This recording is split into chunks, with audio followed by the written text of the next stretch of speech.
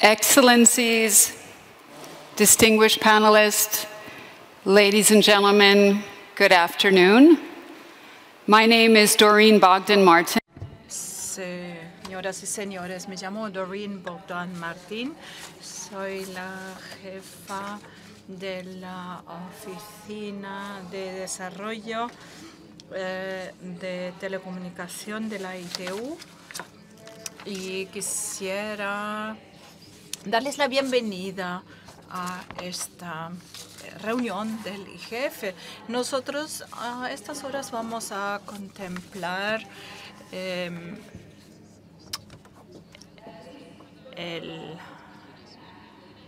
hecho si se pueden lograr los eh, objetivos de desarrollo sostenible en la era digital. La mitad del mundo está online, pero ¿qué pasa con el resto? ¿Qué pasa con estos millones y millones de personas que todavía no tienen acceso a Internet? Eh, que no tienen acceso a un mundo que para nosotros se sobreentiende. Nadie de nosotros se puede imaginar vivir sin Internet y un 50% de la humanidad tiene que eh, vivir de esa manera. Internet es un buen ecosistema que utilizamos también para cosas fáciles, como para ver la parte mm, meteorológica o para comprar algo o para jugar. También lo utilizamos para comprar un billete de avión, pero somos un grupo pequeño de gente privilegiada y tenemos que recordar que Internet tiene repercusiones enormes a aquellos que todavía no tienen acceso a libros, periódicos, que no tienen acceso a escuelas, hospitales y cosas de la agricultura. Los que están buscando un sitio de trabajo, que quieren hacer una empresa o necesitan acceso a servicios financieros. El Internet ha cambiado a nuestro mundo. Pero ese potencial para este cambio eh, se multiplica mil veces para aquellos que todavía no tienen acceso a Internet, que no tienen acceso al poder de las informaciones. La comunidad internacional está obligada moralmente de hacer todo lo posible para que todo el mundo tenga acceso a Internet. Nadie, de, no dejar nadie a la zaga, nadie detrás, eh, significa también la accesibilidad de la tecnología y el secretario general subrayó cuán importante es esa tecnología también para lograr los objetivos de desarrollo sostenible. La palabra cooperación es uno de los términos centrales. la primera mitad de la población mundial está conectada, pero para hacerlo con la segunda mitad vamos a tener que colaborar. Vamos a tener que desarrollar nuevos métodos de pensar cómo se pueden eh, dar la conectividad a los que todavía no están, eh, no tienen acceso. Señoras y señores, esta tarde tenemos un panel excelente y durante los, las dos horas que vienen ahora nos vamos a centrar a dos eh, o a tres eh, áreas, el planeta, eh, la humanidad y la prosperidad. Y cómo puede fomentar el Internet el desarrollo de estas tres áreas. Y mm, vamos a hablar en el panel, pero después vamos a hablar también con el auditorio, no solamente el auditorio que de los que están presentes, sino también eh, el auditorio que consiste de los que no están presentes. Quisiera saludar aquí el subsecretario Chenmen Liu eh, y el subsecretario de UNDESA de hacer algunas eh, observaciones acerca del tema. Usted tiene la palabra, por favor.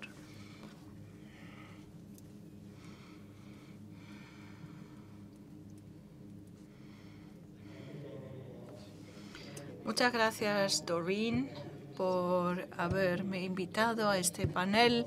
Gracias por haber moderado el panel y darme la oportunidad de hablar delante de este auditorio. Señores y señores, para mí es una gran alegría de hablar sobre la obtención de los objetivos de desarrollo sostenible. La Agenda 2030 es nuestro modelo y es nuestra obligación también.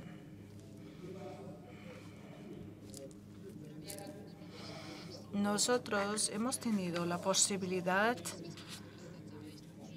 de ver lo que hemos ya logrado y sabemos lo que nos queda por lograr. Muchos países han hecho muchos esfuerzos al tratarse de la obtención de los objetivos de desarrollo sostenible y vamos, vemos buenos resultados en cuanto a la obtención de la no pobreza, pero también es verdad que nos quedan muchos objetivos a lograr. El cambio climático y la brecha digital y social quedan pendientes. La tecnología o las tecnologías e Internet han cambiado nuestro mundo y han cambiado también nuestra manera de compartir informaciones. ya ha hecho cosas muy buenas y eh, la inteligencia artificial nos ayudará también para lograr estos objetivos de desarrollo sostenibles y mejorar así la vida de todos. Tenemos que seguir trabajando para ver cómo obtenemos nuestro gran objetivo. Y IGF es un centro, un foro muy importante igual que otros foros como el foro SDI y el foro de WESIS. Estos foros tienen un rol muy importante y estos foros también se complementan entre ellos.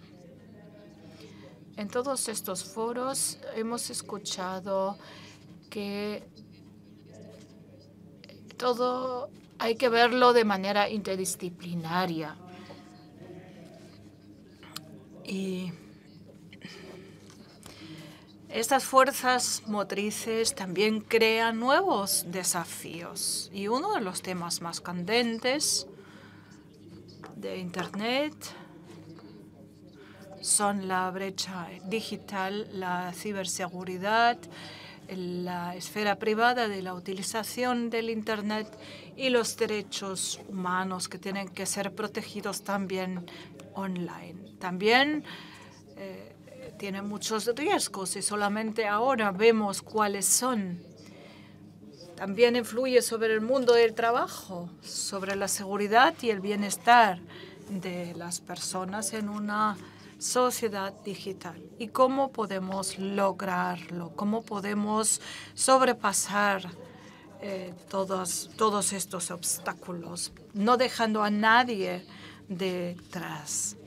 La fuerza positiva de Internet y de la inteligencia artificial solamente se puede aprovechar si la gente tiene confianza en la privacidad y la estabilidad y la seguridad del Internet. Es importante priorizar las tecnologías necesarias para fomentar el desarrollo sostenible. Se presentaron ya algunos resultados de los informes para poder aprovechar el potencial entero de la, del Internet y de la inteligencia artificial. Señores y señores, la IGF tiene que juntar a todos los actores, sea cual sea su grupo de intereses, su fondo social. Tenemos que encontrar puntos en común y donde no estamos de acuerdo, tenemos que seguir trabajando. IGF tiene que ser un foro político para dirigirse a estos temas, para solucionar estas cuestiones. Y aquí en Berlín vemos que también el interés de la sociedad civil y de los expertos de la tecnología se ha despertado porque todo el mundo viene a este foro para encontrar soluciones políticas y enfrentar los retos y deberíamos hacer todo lo posible para que sea, siga siendo así. Existe ahora una red de más de 100 países. Existen también iniciativas regionales del IGF y se llaman NRIs. Esta red ha sido ensanchándose en los últimos años. El enfoque a nivel local es imprescindible si queremos comprender cuáles son los temas que tenemos que tratar y cuáles son los recursos para solucionar eh, los diferentes problemas. Tenemos que hacer todo lo posible para que sigamos un enfoque común y por eso tenemos esa gran ventaja de tener los procesos abiertos del IGF. Y tenemos todavía más suerte, porque están todos ustedes colaborando con nosotros y propagando toda esa información y esa colaboración. Tenemos que optimizar este modo de trabajar todavía para poder solucionar los problemas del futuro. Por eso no debemos de perder de vista que la obtención de los objetivos de desarrollo sostenible es una tarea global. Los retos de hoy día, o sea, la inequalidad, el cambio climático y el cambio, la revolución tecnológica eh, rápida, requieren esfuerzos comunes y una respuesta común. Ustedes lo habrán escuchado muchas veces. Internet y tecnología son imprescindibles para lograr estos objetivos, pero sigue habiendo muchos desafíos y por eso nos tenemos que juntar para poder lograr que se solucionen las preocupaciones de todos para aplicarlos para el bien de la humanidad y para tener un futuro estable. Muchas gracias a todos ustedes. Gracias por haberme escuchado. Muchas gracias, señor subsecretario. Gracias por haber compartido su visión, por habernos explicado un poco la base de su visión. Usted ha mencionado tanto los retos como las oportunidades y los riesgos. Como usted dijo, el desarrollo sostenible es una tarea global que nos afecta a todos. Y por eso quisiera agradecerle por habernos reunido aquí en esta reunión. Quisiera agradecerle por promover este enfoque multi-stakeholder y con eso, señoras y señores, vamos a pasar a nuestra discusión en panel. Vamos a tener tres bloques en nuestra discusión. La Agenda 2030 es un plan de acción para la humanidad, para el planeta y para la prosperidad. Y por eso vamos a empezar con los seres humanos, con las personas. Ustedes saben que los ODS rezan que el mundo quiere acabar con la pobreza y con el hambre. Quiere asegurar que todos los seres humanos pueden vivir de manera digna y en un entorno saludable.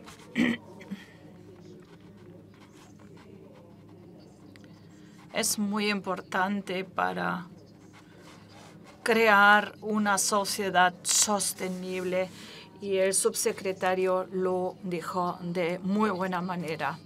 En la primera parte tratamos con el SDG, bueno, ODS 1, em, superar la pobreza, luego la equiparación eh, de mujeres y hombres. Seguramente ustedes eh, conocen todos los objetivos de desarrollo seguro, instituciones transparentes y estables, etc. Nuestro primer participante es, o primera participante, se llama Alexandria Walden. Ella tiene que ver con, eh, en Google, con la política global de derechos humanos y de la libre expresión.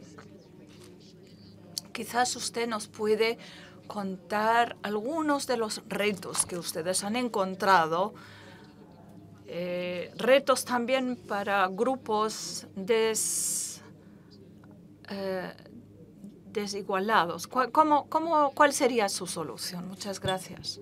Gracias por darme la palabra. Gracias por haber invitado a Google a esta discusión.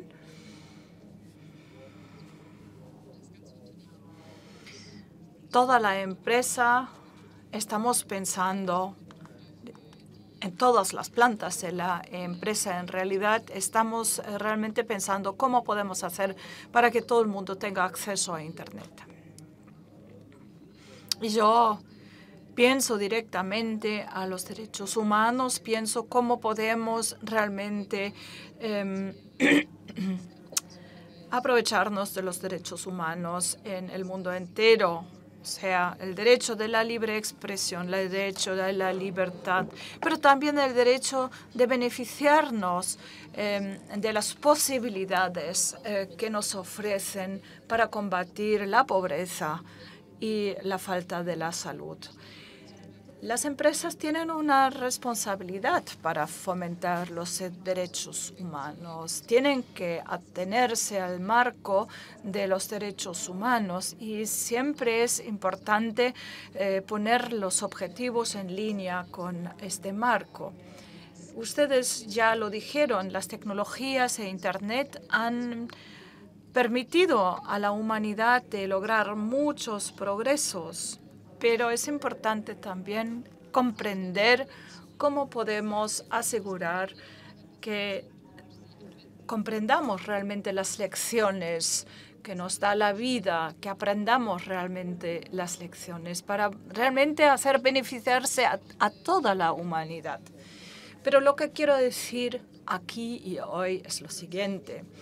Eh, los retos como la protección de la privacidad, Em, y otras cosas, hay que hacer que las empresas se, eh, o, respeten el marco legal de los derechos humanos. Y eso, eso es importante, cómo pensamos sobre los derechos humanos en nuestras eh, empresas y cómo utilizan las personas eh, nuestros productos, si respetan en este momento los derechos humanos. Hay que ver los productos nuestros, cómo se utilizan en el mundo. Y hay que ver también cómo podemos prevenir ah, efectos dañinos utilizando nuestros productos. Es un punto importante. Queremos asegurar cuál es el marco ya existente cuando contemplamos los retos del pasado hay que ver lo que hay y claro, hay que cuidar también el enfoque de los multi-stakeholder. Uno solo no puede lograrlo. Tenemos que colaborar, tenemos que hablar, tenemos que ver cuáles son los efectos, ventajas, desventajas. Debemos ver también lo que sabe hacer la tecnología. Es una manera de atacar este problema utilizando la tecnología. Muchas gracias. Ahora paso la palabra a la excelencia, el viceministro de Telecomunicaciones de Paraguay, Miguel Marín. Yo he visitado una vez a su país precioso hace un par de semanas y he visto algunas escuelas en Paraguay fuera de Asunción Señor viceministro, usted quizás nos puede comentar un poco sus experiencias. Usted viene de un país mediterráneo sin acceso a la mar y quizás nos puede explicar un poco el contexto, cómo eh, logran sus objetivos. Muchas gracias. En primer lugar, quisiera decir que nos eh, alegramos mucho haber sido invitados a esta conferencia. Es la primera vez que hemos venido con una gran delegación al IGF. Tenemos una delegación que se compone tanto de parlamentarios como de integrantes del gobierno, como también de integrantes de la sociedad civil. O sea, que eso es un logro enorme. Tratándose de Internet, eh, nosotros vemos un gran desafío para nosotros. Nosotros somos un país que no tiene acceso a la mar. No tenemos la posibilidad de conectarnos con este cable submarino y tenemos que negociar con nuestros vecinos para encontrar una solución para tener eh, una mayor eh, ancho de banda y para poder dar buenos precios a nuestros habitantes. Ya hemos hablado de eso cuando estuvo usted de visita y ahora estamos también encontrando soluciones. Claro, tenemos que aprovechar los canales diplomáticos pero también podría servir eh, a otros lo que estamos haciendo nosotros. De no ofrecernos algo tan bueno, pues em, es para nosotros complicado. Es complicado crear una infraestructura excelente sin esas posibilidades. Y como usted dijo, tenemos una agenda digital en Paraguay. Es un proyecto con el que atacamos el problema de la infraestructura y yo personalmente ya he participado en otros proyectos de la telecomunicación y de Internet y fundé hasta uno de los proyectos.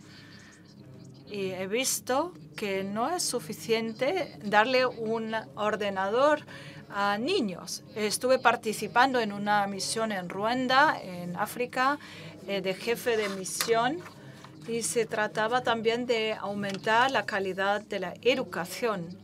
Y solamente crear la infraestructura no basta, no es suficiente.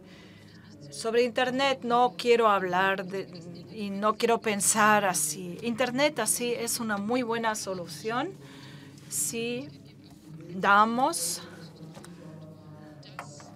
la posibilidad a todos de tener Internet. Eso da la posibilidad a ellos de fomentar su democracia. Gracias. Con ello paso al resto de los panelistas para ver si tienen algún comentario sobre lo que han oído de Miguel o de Alexandria antes de pasar la ronda al público. Almidi, ¿quieres decir algo? Melissa, ¿quieres empezar? Yo creo que me llama sobre todo la atención una cosa que se ha dicho. Dar infraestructura no es la única solución. Yo Considero que las aptitudes digitales y la inteligencia digital es muy importante y, por supuesto, es muy importante que cuando la gente se conecte tenga también las aptitudes, las capacidades relevantes para hacer un uso relevante de esto. Bueno, parece, estoy entrando un poco en materia, pero para mí esto es una parte esencial de estar conectado de manera relevante, significativa. Olumide. Sí, quiero hablar con referirme a Melissa en cuanto al acceso, a dar acceso a los menos privilegiados del mundo. En 2017, yo creo, Google hizo algo en Nigeria, eh, una, una acción de caridad sin el uso de Internet. Y se podía, sin un dispositivo, acceder a Google, por ejemplo, cuando sin tener que abonarse a, ningún proveedor de Internet, se podía surfear. Esto lo hizo eh, Google posible para Nigeria. No sé si lo han hecho en otros países, para que las, las personas pudieran buscar, eh, utilizar los motores de búsqueda durante dos o tres o cuatro minutos. Y esto se podría extender a otras áreas, porque en algunos lugares eh, podría hacerse así. En Paraguay también se podría hacer así, aunque nosotros tenemos acceso al mar, pero en lugares donde no hay buen acceso a Internet o cuando no se tiene buen acceso a, a los cables de fibra, entonces, como la tecnología siempre está mejorando, se podría dar acceso a los vulnerables por estas vías, como se hizo en mi país. Muy bien, gracias. Antes de pasar ahora la palabra a Luis, creo que tendrían que presentarse Melissa. Melissa Sassi es la presidente del Grupo de Trabajo sobre Aptitudes Digitales. Sí, también participa, es gerente de un programa de startups. Eh, Olumide Babalola viene de Nigeria y es el director gerente de una empresa llamada Babalola que hace, em, em, que hace mm, temas de, de de Derechos Humanos. Eh, Luis Neves allí trabajó en Deutsche Telekom, donde se encargaba de los esfuerzos de sostenibilidad. Estamos encantados de tenerte con nosotros. Y Giza estuvo conmigo en la ATU, en la ITU, y ahora trabaja en la Organización eh, de Telecomunicaciones de la Commonwealth y antes estuvo en la ITU, donde se encargaba del trabajo de eh, LDC, donde era CEO en el Ministerio de las TIC y entonces estamos en, de, Samoa. Estamos encantados de tenerla con nosotros. Bueno, ¿quieres compartir eh, algunas ideas en el contexto del segmento de las personas, Luis? Sí, muchas gracias, Dory. Yo quiero abordar algunos temas sobre un informe que realizamos que se llama Digitally Purpose, un informe que salió hace seis meses. Lo hizo Deloitte junto con 50 personas del mundo que estudiamos diferentes tecnologías en relación a los ODS. Y visitamos más de 2.000 fuentes de información para este informe. Y luego presentaré algunos, eh, algunos, algunas conclusiones. Pero lo que me gustaría abordar aquí es lo siguiente. Estamos hablando de derechos humanos, de privacidad y seguridad. Y una de las áreas más críticas que identificamos en nuestro informe es la cuestión de derechos humanos, privacidad y seguridad. Y esto puede ser muy crítico hoy en día cuando pensamos en lo que está ocurriendo y cuando tenemos en cuenta de qué manera las tecnologías se utilizan maliciosamente en interés de algunos. Esto hay que tenerlo en cuenta también.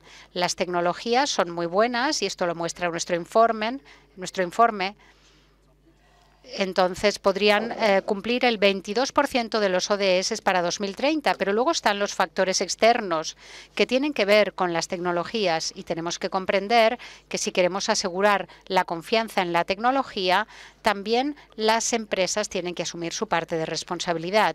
Las empresas tienen que ser responsables y rendir cuentas sobre cómo ofrecen esas tecnologías. Segundo punto, en relación con los ODS la tecnología fundamental para, lograr que se cumplan los ODS es la colectividad. Tenemos que ofrecer la conexión a las personas para que la mitad de la población del mundo que no tiene acceso a la tecnología consiga tenerlo. La cuestión es cómo vamos a asegurar que esto ocurra. Así que quizás tenemos que revisar cosas que hemos hecho en el pasado. En el pasado teníamos un concepto que solíamos llamar el acceso para todos. Dar acceso universal. Y eso fue, era la responsabilidad del gobierno, de los legisladores, antiguamente, cuando las telecomunicaciones todavía pertenecían al sector público.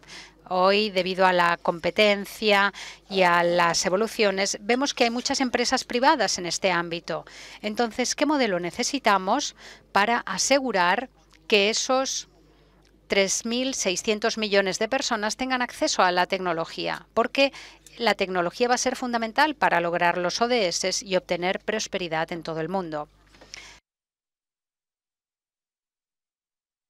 Sí, es así. En los 80, cuando el señor Donald Maitland presentó su informe sobre el em, eslabón perdido, entonces se trataba de decir cuánto tiempo se necesitaba caminar para llegar a una línea de teléfono fija eh, pensado en, en, número de días. Claro, ahora ya no pensamos en la conectividad por líneas telefónicas fijas. Entonces, la cuestión es ahora el cómo. ¿Cómo vamos a llegar ahí? Y cuando el secretario general ah, inauguró el IGF ayer, habló de conectar el mundo em, para 2030 como una prioridad principal. Y como ha dicho Alexandria, tiene que ser de manera compartida, común, no solo los gobiernos o el sector privado, todos nosotros. Tiene que ser nuestra prioridad.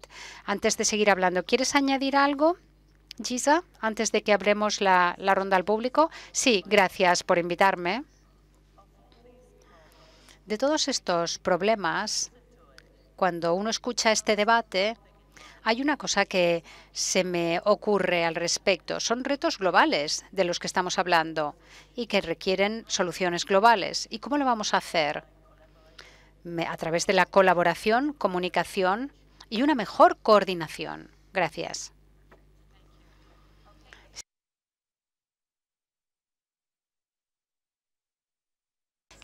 Queda abierto ahora la ronda de ruegos y preguntas, comentarios y bueno, tengan en cuenta los comentarios que han hecho las personas del panel o comentarios sobre las personas en general. ¿Alguna pregunta? Tenemos aquí micrófonos repartidos por la sala y si desean hacer un comentario o hacer una pregunta, por favor acérquense a uno de los micrófonos, preséntense, digan su nombre. Veo que ahí tenemos una primera pregunta, un comentario. ¿Quieres presentarte, por favor, Meilen? Sí, tienes la palabra. Meilen Fon, del Centro de Internet de las Personas que yo fundé. Quiero dar las gracias a los panelistas por sus comentarios tan interesantes. Y quiero decir que las declaraciones que han hecho han sido muy inspiradoras tenemos que aprender a colaborar. Y esto lo oímos en todas las sesiones. Tenemos que aprender a colaborar. Pero ahora lo que tenemos que hacer es hacerlo, practicarlo. Estamos al principio de un largo viaje y tenemos que dejar de jugar, de, tocar los instrumentos y empezar a hacer música todos juntos como en una orquesta porque yo no veo que estemos desarrollando las herramientas para poder abordar esta gran brecha. Seguimos diciendo que necesitamos el, el, elefante, pero el elefante está en la sala y nadie se atreve a abordarlo. Bien, muchas gracias, Meilin. Podemos seguir hablando de colaborar, pero creo que es el momento de empezar a colaborar, de aplicar medidas concretas. Buen comentario, muchas gracias. ¿Alguien más? ¿Quiere decir algo? Sí, veo a otra persona. Por favor, preséntese. Gracias por este espacio. Soy Fernando, investigador de Brasil. Y mi comentario, y bueno, en realidad una pregunta, es la siguiente. ¿Cómo se va a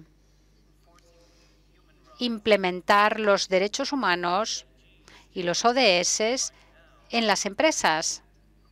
Actualmente tenemos un escándalo, un gran escándalo en curso sobre recolección de datos y también estuvo el escándalo de Cambridge Analytica y hasta hoy no ha habido ninguna acción sustancial contra estas empresas y ellas estuvieron fomentando acciones que iban en contra de los derechos humanos, porque cuando se ve una empresa que está afectando a los, eh, derechos humanos, las ONGs lo declaran, lo denuncian se realizan informes que muestran cuáles son esas infracciones de los derechos humanos que se, han cometido. Pero cuando se trata de Internet, de cuestiones digitales, no son tangibles.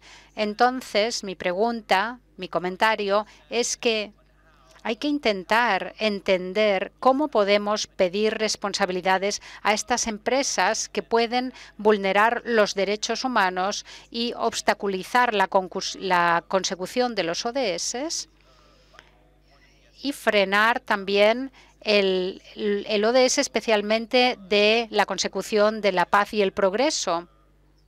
Este es mi comentario, simplemente un impulso para todos ustedes. Gracias, Fernando. Luis, ¿querías decir algo? Y luego Alexandria.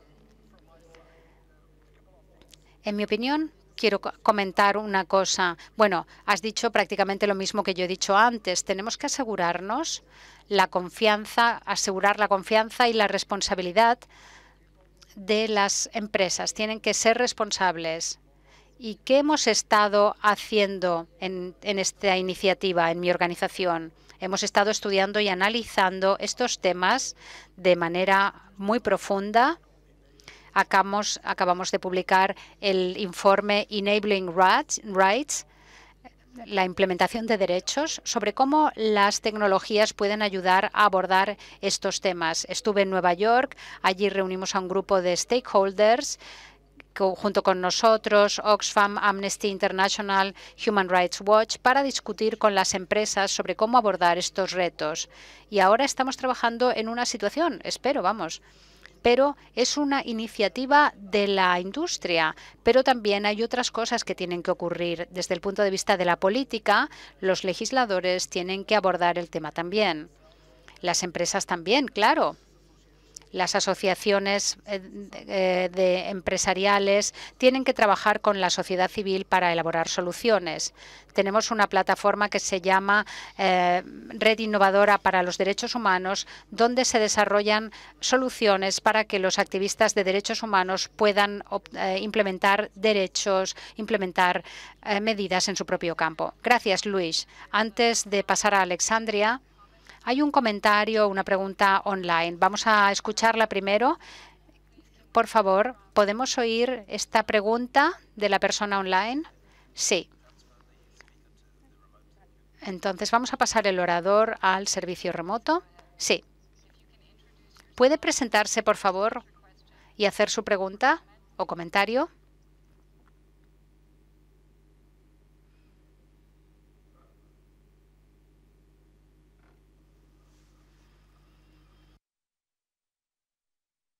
Vaya, y ahora precisamente nos falla la tecnología. Benjamin, no podemos oírte.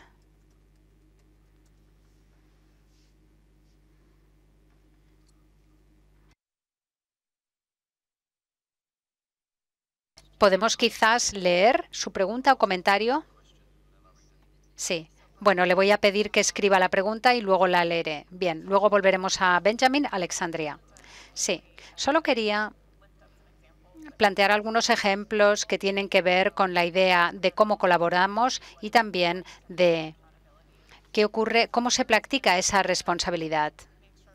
Primero, entonces, quería saber si conocen la iniciativa eh, de Global Network. Son empresas eh, sociedad civil, eh, asociaciones de derechos humanos y el objetivo de este esfuerzo multi-stakeholder es ayudar a las empresas a asegurarse de que están respetando los derechos humanos eh, al hacer sus negocios. Hay aquí algunas lecciones que se aprenden y luego también hay un mecanismo independiente y una, evaluación de la responsabilidad.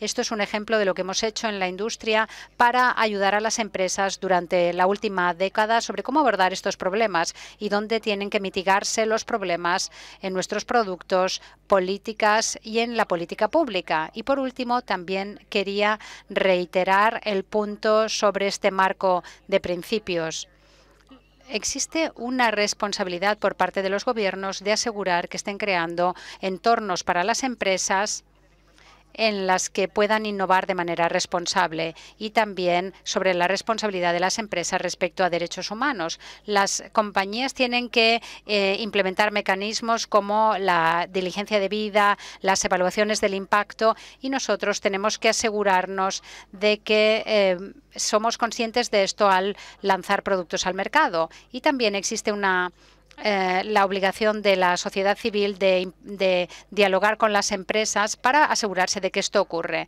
Estos son los diversos aspectos de esa responsabilidad. Eh, Olumide y luego Melissa y Miguel. Muchas gracias. Yo creo que su pregunta o, o sus comentarios tienen que ver con lo que se dijo ayer sobre la protección de los derechos humanos online en cuanto a responsabilidad.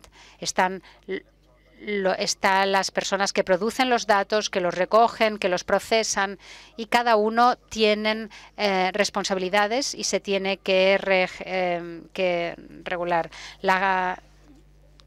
el reglamento general de protección de datos tiene esto en cuenta y también se tiene que se ven ahí las compensaciones. Yo creo que Brasil también ha establecido una ley de protección de datos. Desde la perspectiva de un abogado, es una responsabilidad eh, em, compartida. Sobre todo los eh, sujetos de esos datos tienen que reclamar em, a, a las personas que procesan esos datos en caso de que se produzca alguna violación. Una vez en que asumimos esa responsabilidad, y dejamos de hablar, solo hablar, y pasamos a la acción, yo creo que será mucho más fácil entonces en los países desarrollados y eh, es más fácil eh, porque nosotros en los países eh, en desarrollo llevamos a esas empresas a juicio y funciona. Bueno, mi, nosotros no nos encargamos de eh, pedir responsabilidades a los, a los malos actores, pero sí se trata de cómo se usan las tecnologías. Yo veo en todo el mundo muchas definiciones diferentes de lo que significa ser eh, eh, capacitado digitalmente y también a veces es diferente el concepto de qué es lo que hay que aprender para obtener inteligencia digital. Y yo creo que es muy importante tener aquí toda una serie de competencias que tienen que tener las personas cuando están online y que al compartir datos tienen que saber qué es lo que puede ocurrir con esos datos y cuáles son los riesgos eh, relacionados con ello. Gracias. Viceministro, por favor. La primera pregunta que se ha mencionado aquí. Los países ya están haciendo cosas y están trabajando en colaboración. Nuestra participación aquí, esta reunión nos ayuda a pensar de manera diferente y volver luego a los países y hacer las cosas de otra manera. Yo he visto las cosas de otra manera después de venir a estas reuniones y de escuchar cómo lo hacen otros países, otros legisladores. Eso me ha ayudado. Y ese es un paso muy grande hacia la manera correcta de hacer las cosas, de, hacia mejorar. Así que por ello, eh, un aplauso por esta reunión que se, que se ha realizado aquí. Realmente lo aplaudo. Sí, muy rápidamente. Cada país tiene sus leyes y lo sabemos. Y cada país ahora tiene también legislación sobre derechos humanos. Así que todas las empresas y organizaciones que opera en, cada, en un país en concreto tiene que respetar esas leyes.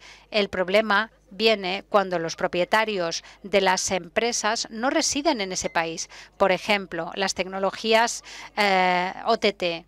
Entonces, ¿cómo se puede fiscalizar a esos propietarios de las empresas? Eh, ese es el reto y la Organización de Telecomunicaciones de la Commonwealth realizó un estudio sobre las, eh, los OTTs y si alguien aquí es de Uganda, sabrá que Uganda ha realizado y ha aprobado legislación sobre las OTTs y pueden compartir sus experiencias.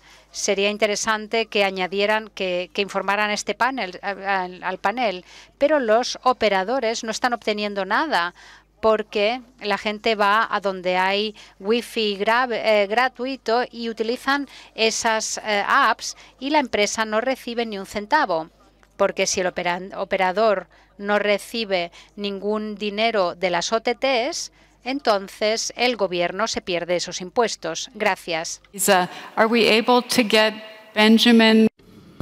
Muchas gracias. Tenemos la oportunidad de escuchar a Benjamín. Bueno, vamos a intentarlo por y si no, entonces la leemos. La pregunta, sí, sé que el tiempo casi se está acabando. Benjamin, adelante. Hola, ahora sí que le escuchamos, Benjamín.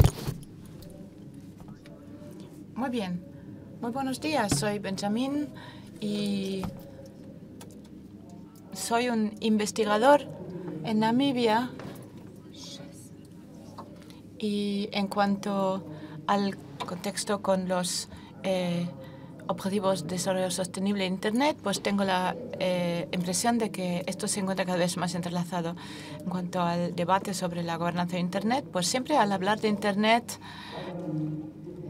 cabe hacernos la, la, pregunta, por ejemplo, con respecto a los mejoramientos en el área de la salud, ¿por qué no decimos cómo podemos eh, aprovechar el Internet para mejorar la salud?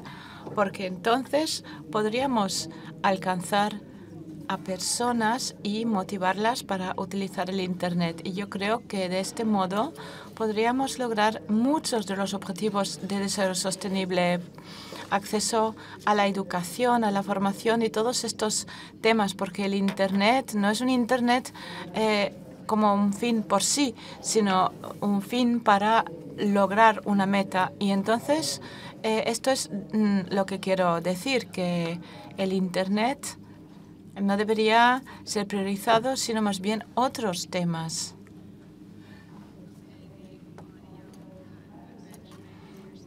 Bueno, parece que, que acaba de cortarse la comunicación, pero Benjamín, si usted nos sigue escuchando, entonces eh, decirle que hemos comprendido lo que usted quiere decir. Yo estoy totalmente de acuerdo.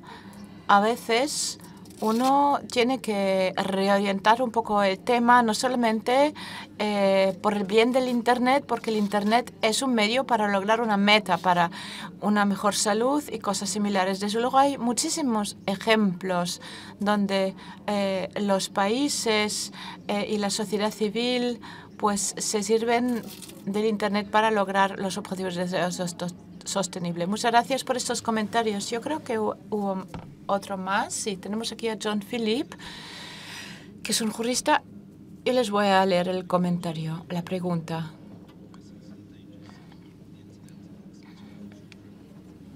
Conforme al apartado número 3 del informe del alto panel sobre la protección de los niños, queríamos preguntar qué es lo que se puede hacer para proteger mejor a los niños.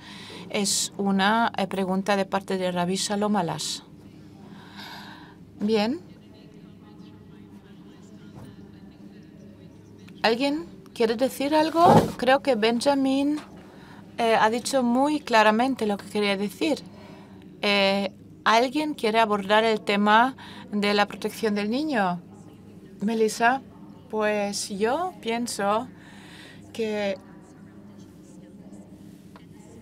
bueno, yo siempre he hablado de la competencia de medios de comunicación en cada uno de mis comentarios y esto también se aplica a las personas jóvenes. La primera vez que se conectan con la red igual eh, no son vigilados. Es muy importante que los niños comprendan sentirse seguros, moverse seguros por el Internet. No conozco estas publicaciones eh, a las que se refiere esta pregunta, pero puedo decir en términos generales que tenemos que enseñar a nuestros hijos que el Internet tiene ventajas, pero también muchas desventajas. Muchas gracias. Muchos de ustedes saben que eh, celebramos muchos aniversarios, la caída del muro de Berlín, la creación del Internet y también el Convenio de Naciones Unidas sobre el Derecho del Niño. Y hay eh, muchos documentos en la familia de las Naciones Unidas, como también fuera de ella. Y eh, por el otro lado, hay unas cifras eh, horribles en cuanto al abusos sexuales, pero también acoso en Internet. Hay cosas eh, muy dudosas y también la Unión Internacional de Telecomunicaciones y otras colaboran en la elaboración de los lineamientos para la protección internacional del niño y quisiera invitarles a participar si todavía no lo hacen. Eh, luego vamos a volver una vez más sobre este tema. Quizás hay unas cuantas observaciones de índole general. Pues para empezar, eh, nos movemos del tema del ser humano al tema de la Tierra. Como probablemente saben, los objetivos eh, del desarrollo sostenible deben proteger al planeta Tierra para que también las generaciones venideras puedan vivir aquí. Y la cuestión es reconocer lo eh, decisivo que es el cambio climático para el eh, cambio digital. Eh, los medios digitales tienen que jugar un papel decisivo en la inversión de los efectos negativos. Nos concentramos aquí en una serie de los eh, de los objetivos de desarrollo sostenible, el agua limpia, el consumo, el aprendizaje en el consumo y el clima. Empezaré con usted, Luis. Como he dicho, Luis es el jefe de la Junta Directiva de Jesse. Y Luis, usted nos quería presentar sus transparencias para eh, familiarizarnos cómo se pueden utilizar los medios digitales en la lucha contra el cambio climático. Muchas gracias. Muchas gracias, Doreen. Mm, espero que voy a respetar el tiempo de habla que se me ha concedido. Eh, ya había mencionado antes que hemos realizado una investigación muy amplia y que esta investigación ha llevado a este informe. Entonces, yo les invitaría a ustedes eh, para eh, tomarse el tiempo leer todo el informe en su conjunto. Hay 500 eh, estudios eh, de casos individuales que hemos evaluado, así como siete tecnologías, futuro digital, 5G, blockchain, cloud y muchos otros más, el aprendizaje automatizado, eh, la inteligencia artificial, el Internet. O sea que hemos eh, relacionado estos, estas tecnologías con los objetivos eh, sostenibles em, y hemos escogido unas algunas personajes destacables como directores de organizaciones internacionales, o sea, unos profesores, eh, también hemos integrado en empresas tecnológicas. Todo esto ha demostrado, probablemente no lo ven eh, a la distancia, pero en este contexto nosotros hemos analizado estos factores para ver que las tecnologías Eh, pueden, o sea, 103 de, pueden cubrir 103 de los 109 objetivos sostenibles. Hemos realizado una evaluación cuantitativa y cualitativa y hemos sacado unas conclusiones finales. Hemos visto dónde se pueden lograr estos objetivos, pero también hemos establecido factores externos y dicho en breves términos hemos dicho que las tecnologías generan eh, crecimiento, que tienen, van a tener un impacto positivo en el mercado laboral y en el y en el eh, trabajo, pero también efectos negativos como las emisiones de gases de invernadero, em, eh, desechos electrónicos o el consumo no sostenible.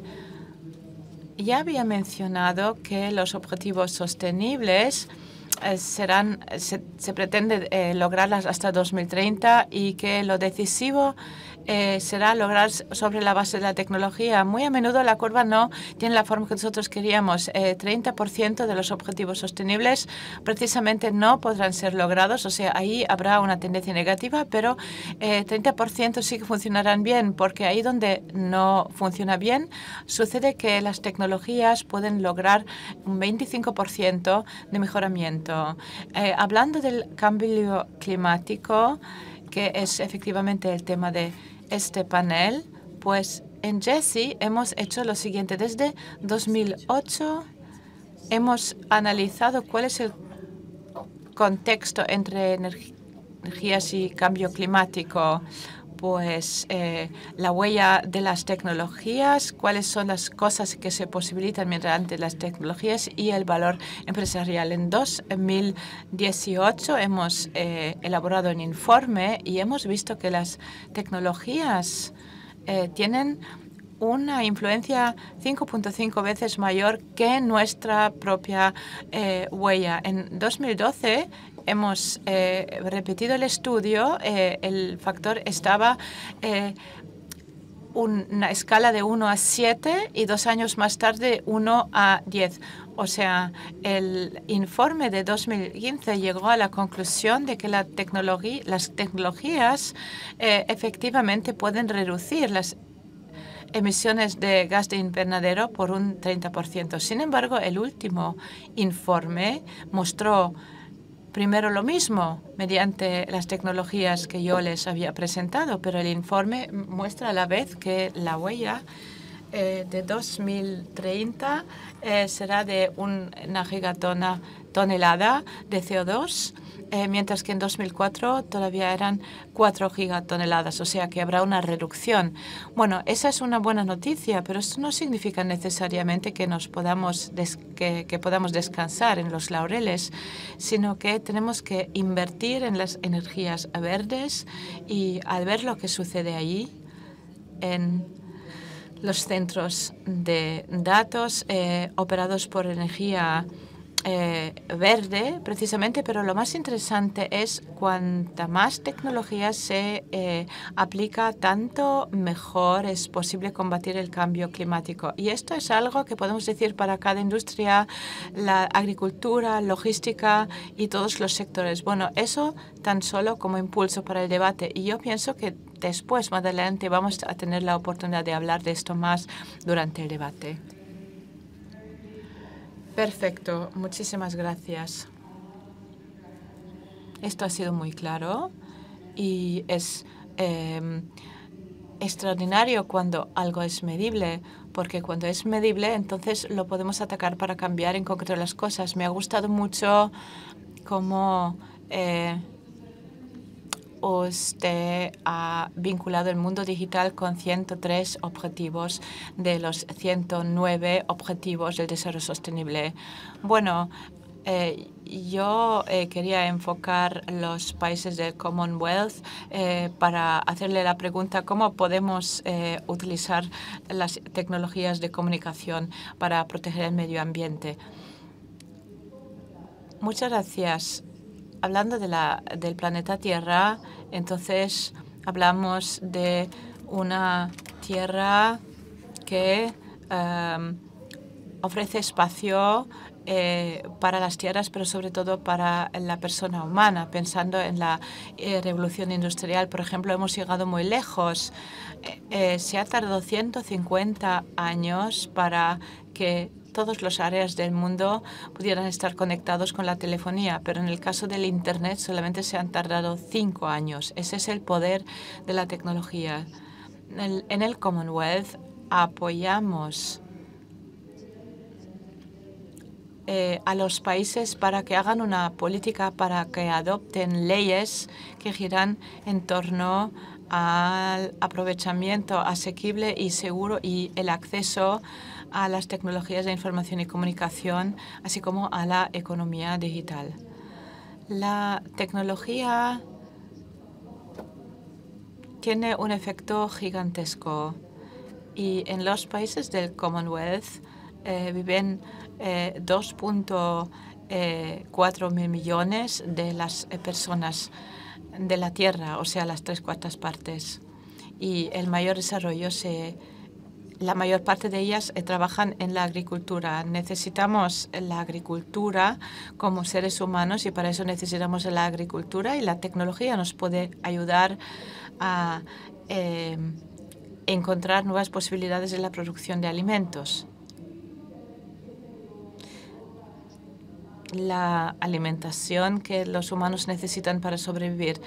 A la hora de analizar un estudio de la FAO, del Banco Mundial, por ejemplo, entonces alrededor de 800 eh, millones de niños no tienen acceso a un abastecimiento suficiente de alimentos y ahí nos puede ayudar la tecnología? ¿Cómo podemos comprender lo que sucede en las áreas rurales, en las aldeas? Para esto también necesitamos la tecnología. Necesitamos la tecnología eh, con base terrestre, pero también en satélites. Los satélites ofrecen una, una cobertura total y cómo los gobiernos ofrecen su información. Aquí em, es muy importante la información digital, o sea, la información aportada por la vía digital. Eh, y aquí entran en el juego los móviles, la construcción de capacidades, es también una de las palabras clave. Mi país, Samoa, hace un tiempo liberalizó el mercado yo estoy tan orgullosa de cuando yo puse, pude llevar el primer móvil a mi pueblo, entonces yo se lo di a mi hermana, entonces llamamos a otra hermana en Australia y le dijimos, oye, y eh, mi, mi, hermana eh, se asustó, ella tenía miedo. O sea, eh, bueno, para nosotros esa tecnología se sobreentiende, es lo más normal, pero no siempre lo fue y todavía no lo es para todo el mundo. En los estados, islas, como por ejemplo en el Caribe, todavía eh, queda tanto por hacer porque estos países están tan aislados, pero sí podemos lograr muchísimo. Tenemos un proyecto que es el proyecto de los telecentros, como lo llamamos nosotros, y yo sé que hay proyectos similares que ya algunos han fracasado también, pero eh, sí pudiésemos tener estos telecentros en las aldeas y pudiésemos enseñar a las mujeres cómo se utilizan los emails, entonces uno vuelve y de repente una eh, te dice, mira que mi eh, nieto de Vancouver me acaba de eh, poner un email y me ha enviado fotos y esto es maravilloso, o sea, sabemos que no se necesita una formación formidable, formidable para ser capaz de eh, utilizar estas técnicas. Bueno, son problemas globales que necesitan eh, soluciones globales, pero su implementación eh, es importante y ahí dirigimos las miras hacia los gobiernos, pero también hacia las personas humanas. Bueno, este es nuestro trabajo para los los países eh, y para el futuro. Em, enfocamos lo positivo en la economía del futuro, lo decisivo es el acceso. Siempre hay una necesidad de acceso y ahí también hay fondos para el acceso universal. Y luego tenemos un proyecto en Malawi y también en otros países bueno, pero lo, lo, voy a dejar ahí y luego podemos volver otra vez sobre el tema. Muchas gracias, Lisa. Bueno, retos y soluciones en este contexto, la Tierra, el planeta. Usted habló de cómo se puede colaborar con los gobiernos en materia de iniciativas políticas. El año pasado yo colaboré con Mike y Lidia, que están aquí, en, la audiencia y ellos trabajan en Microsoft. Y nosotros analizamos 82 políticas de banda ancha, intentamos eh, agruparlos en un solo algoritmo eh, y crear una directiva para ver lo bueno que tienen ese tipo de directivas. Eh, lo digo porque a menudo hablamos de objetivos, pero luego la cuestión es cómo se implementa en la política, como la igualdad de derechos, la velocidad de las conexiones, em, la asequibilidad, cómo podemos tener un acceso basado en datos. Hemos cogido todos los datos y lo hemos eh, reunido en un, en un panel eh, como un tablero de control. Todos tienen acceso y luego tenemos eh, otra directiva que nos gustaría hacer confluir también. Sin embargo, ya, ya está el acceso y uno puede hacer propuestas como, eh, acerca de cómo desarrollar las directivas sin que todos tengan que leer toda la directiva por completo. A la hora de eh, solucionar problemas de los países del Commonwealth, se puede decir que a menudo hay problemas en el área de la agricultura y del abastecimiento alimentario. En nuestro, en nuestro país, dentro de pocas semanas, ya no vamos a tener em, aves, pollos. Y cuando un modelo de negocio se basa en la comercialización de pollos, entonces la empresa eh, fracasa. Eh, se queda en la quiebra porque no quedan pollos. Y aquí se podría aplicar la tecnología para estos países del Commonwealth, pues para que la agricultura pueda experimentar mejoras. Sé que en algunos países europeos existen también em, alimentos genéticamente modificados y con la dimensión eh, gigantesca de este problema, igual esto también podría ayudar. ¿Hay más comentarios para este podio? ¿O hay más eh, preguntas de parte del auditorio? Muy brevemente. Lo que a mí me gustaría eh, transmitir a la familia del Commonwealth es la implementación. Decimos, bueno, tenemos las medidas políticas, pero lo importante es la implementación de estas, porque si no las implementamos, entonces tenemos las políticas, pero que se queda en las estanterías y queda empolvada. En cuanto a Nigeria, mi gran amigo, el profesor Tambata, era presidente del eh, comité ejecutivo del CTO. En alguna ocasión hemos hablado de agricultura y tecnologías de comunicación y entonces eso sorprendió mucho cuando yo dije que si nos imaginamos todo esto como ecuación, podemos decir que la ecuación, la, eh, la agricultura sostenible es vida sostenible. Muchas gracias, Lisa. Por favor, ahí la pregunta en la mesa, preséntese brevemente antes de hacer su pregunta. Secretary. Gracias, me llamo Sharif y soy de las eh, Islas Maldivas y estoy escuchando con mucho interés eh, este panel. Solamente dos cosas que quiero mencionar. La conectividad es un tema muy central para poder lograr los ODS. Y usted dijo que a partir de un 30%, eh, en, 30, en, un 30% de los ODS estamos haciendo regresos, estamos regresando. ¿Cómo se puede eh, hacerlo? ¿Qué quiere decirlo? Para nosotros en las Islas Maldivas la protección del medio ambiente es sumamente importante porque nosotros estamos realmente en una crisis. Pero antes hemos tenido eh, una crisis de conectividad. Anteriormente tuvimos una muy buena conectividad, muy cara, pero un 80% de cobertura de mm, ancha eh, de mando amplio. Pero nos hemos beneficiado de eso en cuanto al desarrollo. En cuanto a la población, puedo decir que somos uh, un estado de islas con 87 comunidades bastante homogéneas. En el pasado, quizás no hemos tenido la diversidad que nos gustaría tener y quizás no estamos tan conectados con el resto del mundo y por eso esa diversidad eh, no llega a nuestras islas. Pero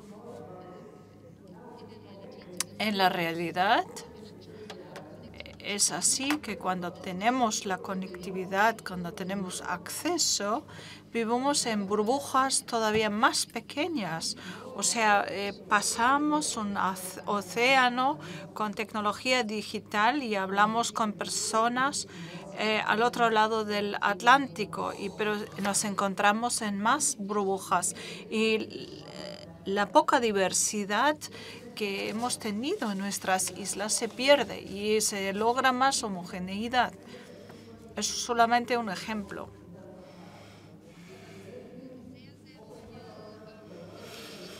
Hemos logrado mucho en el área de la salud, sobre todo en cuanto a las vacunas. Pero en Internet hay tantas personas que no creen en vacunas.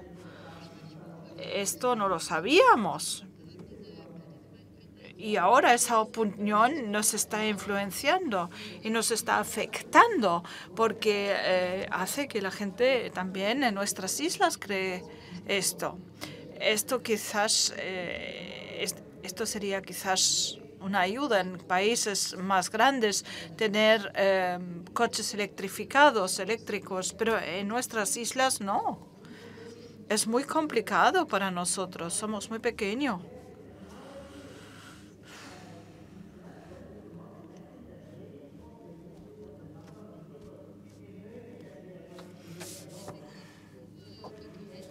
Porque tenemos una capacidad limitada de producción de energías renovables y con ciertas tecnologías lo único que hacemos es importar más eh, diésel. Gracias, Sharif. Otro comentario en la mesa y ahora en las últimas filas. Bueno, Yo soy diputada del eh, Parlamento alemán especializada en, en política de, de, Internet. Quisiera volver sobre lo que dijo Gisa, porque decimos muchas veces que em, nosotros proveemos la infraestructura y luego eh, la competencia digital y la educación. Pero eh, lo que falta muchas veces es el contenido relevante. relevante. Mi pregunta es cómo podemos hacerlo mejor, cómo podemos poner a disposición los contenidos sensatos para que la gente se autoayude. Eh, bancos de datos, por ejemplo, fichas, Em, gratuitas para la impresión 3D, donde podemos, por ejemplo, imprimir y fabricar de esa manera adaptadores como para, para tuberías o, o herramientas. Hay aplicaciones pequeñas con las que se pueden calcular si el tejado, el techo de una casa es lo suficientemente bueno para por ejemplo, coleccionar eh, eh, agua de la lluvia. Son cosas muy, muy pequeñas, pero ¿cómo lo hacemos? ¿Cómo eh, mostramos a las personas que existe?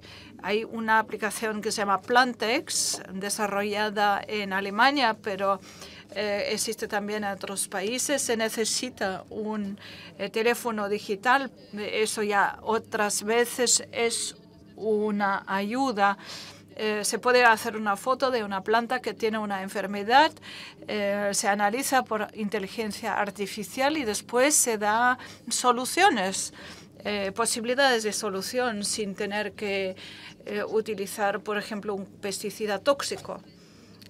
Esto quiere decir que existen todas esas tecnologías y los llamados makerspaces. Se puede enseñar a las personas de reparar las cosas, de fabricar cosas, sobre todo en áreas rurales. ¿Cómo podemos mejorarnos en esto? Muy buena pregunta, muy buena pregunta, de verdad. Eh, contenidos muy relevantes también en las eh, diferentes lenguas, porque la barrera lingüística siempre también es un tema. Bueno, está el señor que está detrás en el en las últimas filas. Eh, me llamo Salamon Fashi, soy periodista y coopero y trabajo con eh, Reporters Without Borders, Periodistas Sin Fronteras en Berlín y tengo una beca de ellos. ¿Cómo funcionan aquellas áreas donde hay poco apoyo político? Para la obtención de los ODS. Por ejemplo, em, agricultores rurales en, Nigeria, ¿cómo podemos hacerles acceder la tecnología y las semillas? Em, y luego, em, eh, y luego, después de haberle dado todo eso, el problema consiste en que no tienen las carreteras para comercializar sus productos en los mercados en las ciudades. En los ODS mm, a veces hay, hay una, un aislamiento total y mm, no se podían distribuir las tabletas a los alumnos, pero muchas veces ni siquiera tienen un tejado en su escuela y tienen que andar por kilómetros. ¿Qué, ¿Cómo aprovechan la tableta que han recibido? Eh, creo que es muy importante crear un entorno eh, favorable para que realmente puedan aprovecharse de lo que eh, les damos. Bueno, hay em, varias preguntas, Islas Maldivas, Alemania y Nigeria. Melissa, vamos a empezar con usted. Yo quisiera dar una respuesta a la pregunta alemana. Yo trabajo para la empresa IBM, pero también tengo mi propia eh, empresa y mayormente estoy en Tunisia. ¿Qué es lo que hemos hecho ahí? Nos hemos, hemos centrado nuestro trabajo a pueblos aislados y hemos enseñado a, las, a la población eh, de encontrar sus propias soluciones, enseñándole cómo programar programas. O sea, no les damos la solución, pero les damos el camino hacia la solución. En mi eh, proyecto, 10.000 niños han em, podido aprender a programar. Muchos no tienen ninguna experiencia, pero luego aprenden cómo programar una aplicación móvil, muchas veces pueden encontrar una solución en el Internet of Things. Y lo que hacemos, em, reunimos 30 eh, personas eh, en nuestros recintos, se quedan 30 días con nosotros, les damos un problema, un problema real de sus comunidades y ellos tienen que hacer un modelo, un plan eh, para una empresa de solución. Em, también los reunimos con personas de las empresas y después es como una competición y la mejor idea gana un precio, un premio creo que no ayuda si una, una persona viene a otro país y sirve una solución en una bandeja. No, es que hay que enseñarles cómo eh, desarrollar eh, la tecnología, pero también eh, los llamados soft skills. Quisiera dar una respuesta a mi hermano de Nigeria. Yo creo sería demasiado esperar de Google si Google nos da directo tabletas y, no podemos pedirles que nos reparan el techo. Sería demasiado pedir. Sí, es verdad.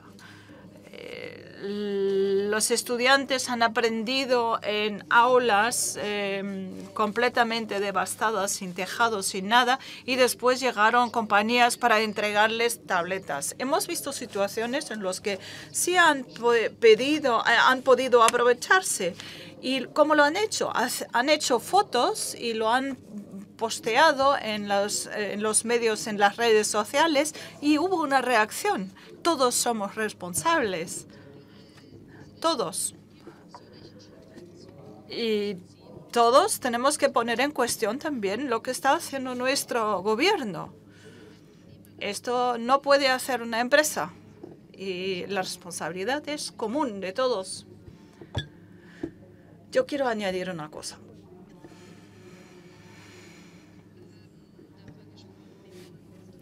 Usted habló de cómo asegurar que el gobierno o los gobiernos también actúan en el sentido de los ODS. Y ahí lo que cuenta es la voluntad política.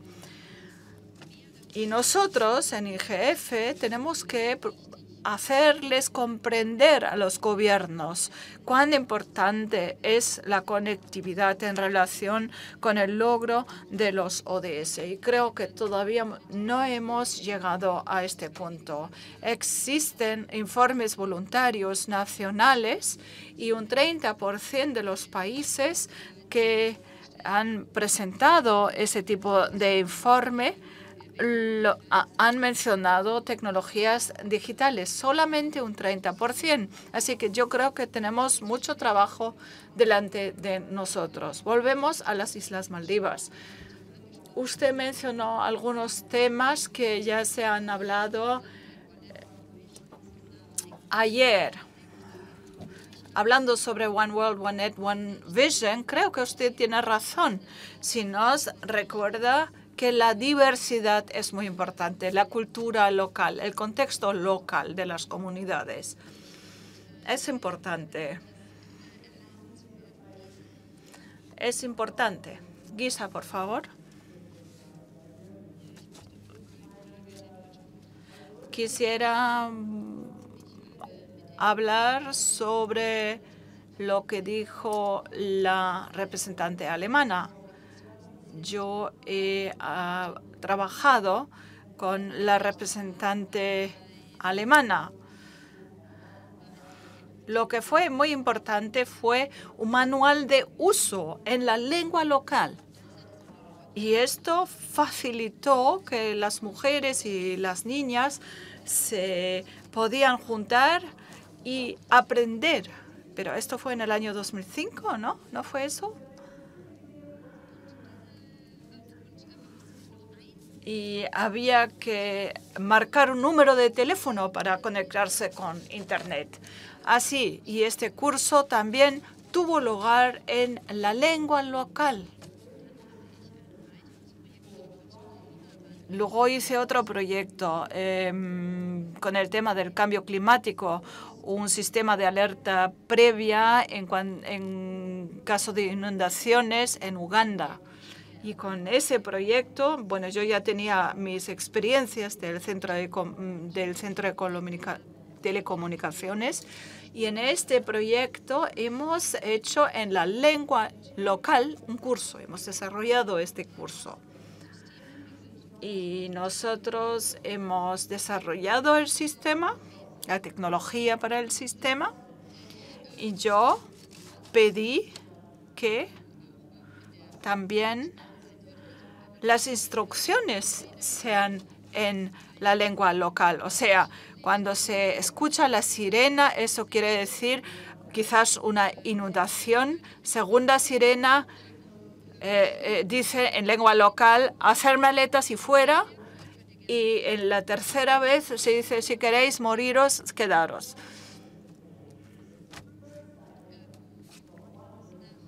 Y después de este proyecto, en la primera inundación, ni una sola persona se murió y fue la primera vez que nadie perdió su vida debido a una inundación. al colega de Maldivas, yo estoy convencida de que estamos enfrentándonos con muchos retos, pero una de las respuestas es darles las habilidades de actuar a las personas, a la población local. Creo que eso es muy importante. Muchas gracias, Guisa. Quiero pasar a la última parte de nuestra ronda.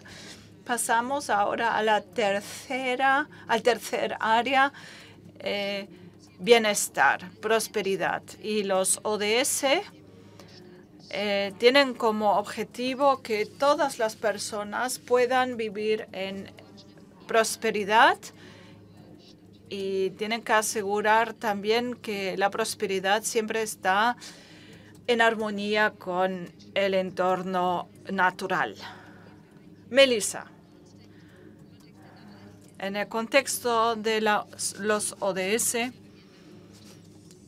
y la agenda del las buenas prácticas, eh, ODS 9 y ODS Igualdad de Géneros. ¿Qué es lo que nos puede contar usted? ¿Cómo pueden las tecnologías tener o crear o promover un mundo más justo? Antes de darles una respuesta, yo quiero contarles una historia, eh, historia sobre Sarah Sahan y Jomna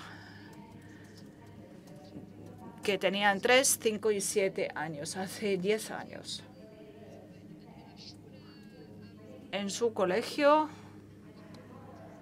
fueron buscados y les transportaron eh, a otro país. Yo, yo me llamo Melissa Sassi y yo soy la madre de Sara, Sahan y Johan. Ellos siguen viviendo en este nuevo país. Para mí significa la inclusión lo siguiente. Soy una madre. Y la conectividad, ¿qué quiere decir para nosotros? La conectividad real. Para mí significa ser una madre. No se preocupen, estos niños están seguros, van muy bien, yo sé muy bien dónde están. Pero la inclusión digital para mí es mi obra de vida. Yo soy presidenta de un grupo de trabajo y soy también presidenta de la Coalición para la Inteligencia Digital. ¿Por qué menciono esta historia? ¿Por qué menciono mi vida personal? El bienestar es personal. No se trata lo que piensan Google, IBM, se trata de que, ¿qué piensa la madre en las Islas Maldivas? Yo, yo ya he estado en estas islas y volvería. Pero, ¿qué piensan Sara, Sahan y Jonah? Pues en sus colegios no tenían acceso a tecnologías y yo he desarrollado un programa con el que se han mandado 400 ordenadores a este escuela. Hay miles de definiciones y marcos para la inclusión y muchos no existen en las lenguas locales. Pero yo he pensado cómo puedo yo mejorar al mundo. Yo he compuesto un equipo en la IEEE. E. Hemos eh, mirado un poco la literatura sobre la inteligencia digital. ¿Qué es lo que significa inteligencia digital? Nuestro, nuestra organización tiene 400.000 miembros. Es la organización de estandarización más grande del mundo. ¿Y qué quiere decir inteligencia digital? Cada cual tiene su definición, pero nosotros hemos recopilado las capacidades básicas. Y son capacidades básicas hasta capacidades más avanzadas y todo se puede mejorar. Si uno en el área de la salud, educación o economía o en eso de ser madre, hay siempre diferentes competencias básicas y más altas. No se trata de programar, no todos podemos ser programadores e ingenieros, pero ¿cómo puedo, puedo estar seguro en Internet que inteligencia emocional puedo encontrar yo en Internet? ¿Cómo encuentro yo el grupo de personas que son apasionados? ¿Y cómo podemos transmitir esas capacidades eh, digitales? 200 millones de niños no atienden colegios.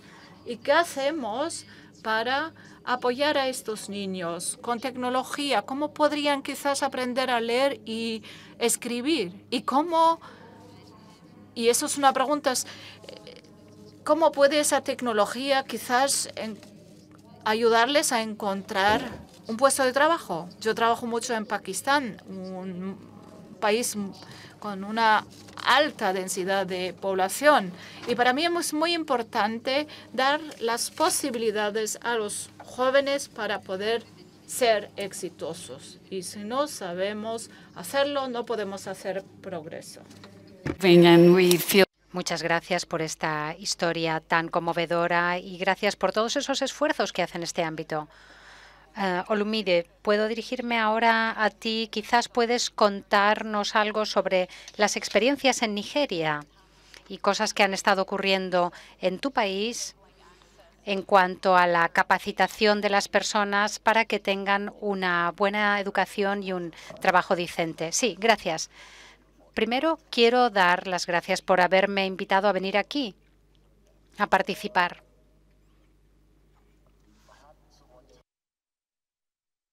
Si hubiera tenido más tiempo, habría preguntado a varias personas qué es lo que entienden por una educación justa. En Nigeria, una persona lo definirá de manera diferente a como lo definen en Gran Bretaña. Si yo pregunto a Melissa qué entiende por una educación justa, será totalmente diferente de mi antigua idea sobre ese contexto. Yo soy un abogado y he estado tan eh, y, he, y he trabajado como 12 años, pero no puedo decir si he tenido una educación justa o no.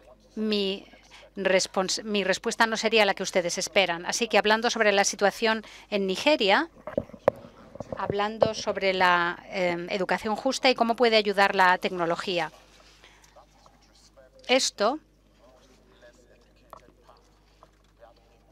ahí tenemos a mucha gente muy em, con muy poca educación. No han ido nunca a la escuela en esa zona de mi país.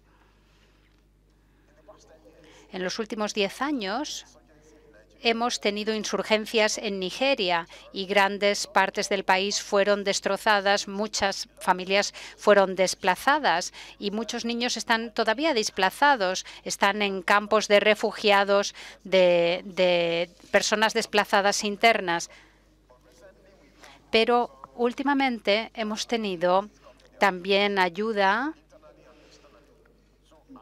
eh, a nivel interno e interno. Entonces, yo tengo un par de ejemplos. En 2006, el Ministerio Federal de Educación lanzó una tecnología de las TIC, un proyecto que tiene un plan de educación para niños, para que estos niños en la escuela y fuera de ella, para que aprendieran estas cuestiones de las TIC. Y también en Yula, una ciudad en, el, en un estado del norte de mi país. Allí una organización extranjera dio a los estudiantes, a los eh, alumnos, les dieron eh, laptops con unos contenidos determinados. Entonces, cuando se habla de educación en Nigeria, entonces allí están aprendiendo el alfabeto inglés y las aplicaciones tienen ya unos contenidos pre, pregrabados para eh, matemática, aritmética e inglés. E, y también algunos estudios así podrían aprender sin necesariamente pasar por un sistema escolar regular.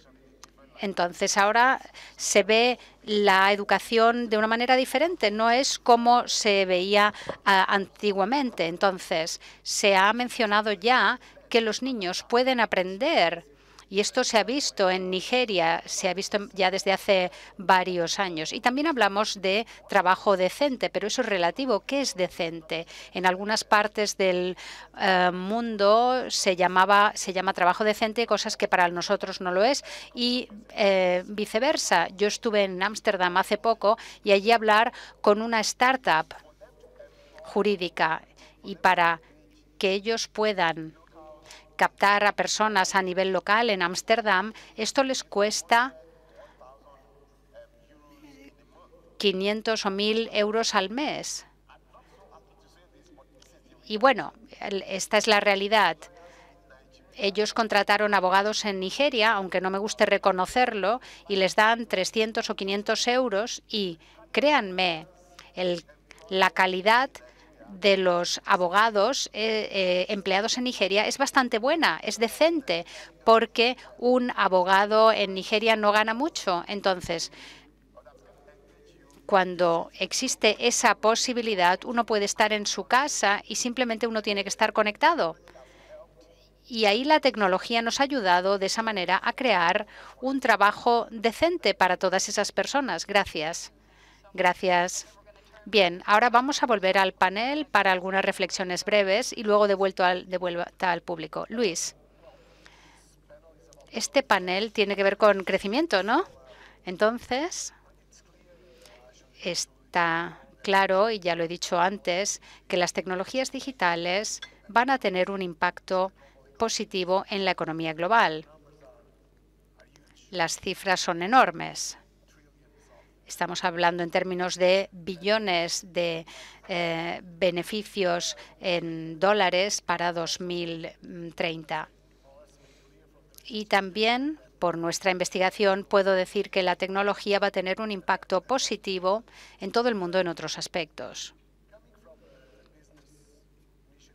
Yo vengo de una iniciativa de negocios y entonces mi preocupación es cómo vamos a abordar aquí los aspectos negativos.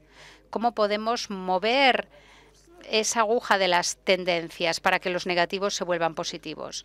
Y ahí es donde tenemos que dedicar nuestros esfuerzos. Si se desarrolla tecnología en, una, en un país o en un entorno, las cosas mejoran, porque cuando hay conectividad se puede dar acceso a, las, eh, a la educación, a la, a la sanidad, movilidad, para el entorno de negocios, logística, agricultura, etcétera. Entonces ahí se ve inmediatamente que las cosas avanzan en la dirección positiva, pero hay que tener en cuenta que hay que abordar también los aspectos externos y con ello me refiero a las áreas críticas que son las áreas más importantes de ahora hasta 2030. Y si vemos cómo está evolucionando el mundo y cuál es el impacto de las tecnologías a nivel global, vemos que hay tres cosas a las que tenemos que prestar más atención. Una es la brecha digital. Nosotros vemos cada vez más personas que tienen acceso a otros. Entonces tenemos un gran número de personas sin acceso y los que tienen acceso también viven mejor que los que no tienen acceso. Así que hay un motivo para que los legisladores se aseguren de, que crear un equilibrio, en cuanto al uso de las tecnologías. Otra cosa que tenemos que abordar es el tema de los derechos humanos, la seguridad em, y otros aspectos. Es un área que tenemos que comprender. Em, esto puede tener un gran impacto sobre la estabilidad global en el planeta. Y no voy a entrar aquí demasiado en detalle, pero si siguen las discusiones en Estados Unidos, en Inglaterra, con el Brexit, con las elecciones, vemos cómo la tecnología se usa maliciosamente para desestabilizar también el entorno, la democracia, las instituciones, etcétera. Así que tenemos que mirar estas áreas porque tienen un gran impacto en nuestra situación global. Y quiero eh, mencionar esto simplemente para recalcar que aunque yo soy un gran eh, defensor de que la tecnología va a ser fundamental para el mundo, para que este mejor mundo vaya a mejor, tenemos que tener mucho cuidado con algunas áreas críticas en las que la tecnología puede tener un impacto negativo. Yo he estado escuchando a la pregunta que ha planteado la diputada alemana y para mí la cuestión principal que ella ha mencionado, quizás no la entendí bien, pero eso tiene que ver con la brecha digital. ¿Cómo podemos asegurarnos de que damos información a todo el mundo? ¿Cómo podemos asegurarnos de que todo el mundo tenga acceso a la información? ¿Por qué? ¿Cómo podemos llevar a las escuelas las herramientas para que los niños puedan aprender? Porque todavía vivimos en un sistema dual. Tenemos a los privilegiados con acceso y a otros que no tienen acceso. Así que la cuestión principal, y con ello vuelvo a mi comentario primero, tenemos que ofrecer acceso universal a la comunicación. Necesitamos conectividad en todas partes y esto requiere inversión y políticas. Y en cuanto a la privacidad y a la seguridad, o la libertad de expresión o derechos humanos, hay dos cosas que tenemos que asegurar en cuanto a la tecnología. La ética, la ética y la ética. tenemos que ir a los aspectos básicos, los valores. Si nosotros cumplimos esos valores, vamos a afrontar, vamos a solucionar los problemas que plantea la tecnología. Sí, ya tenemos preguntas, pero sí. Una pequeña reflexión respecto a lo que ha dicho la diputada alemana también.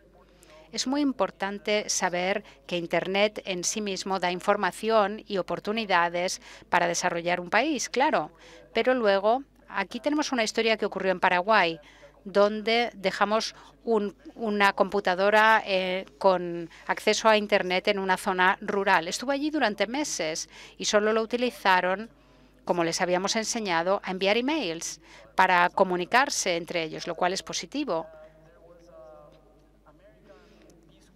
pero hubo un voluntario del, eh, del, Cuerpo de Paz norteamericano que estuvo allí de visita y vio que las personas, que la comunidad tenía un problema de salud porque estaban eh, cocinando dentro de sus pequeñas casas utilizando carbón como combustible. Entonces llamó al líder y le dijo, mire, mire en Internet, en esa página de Internet se puede ver cómo se puede cocinar mejor con este horno que podemos fabricar aquí dentro de la comunidad.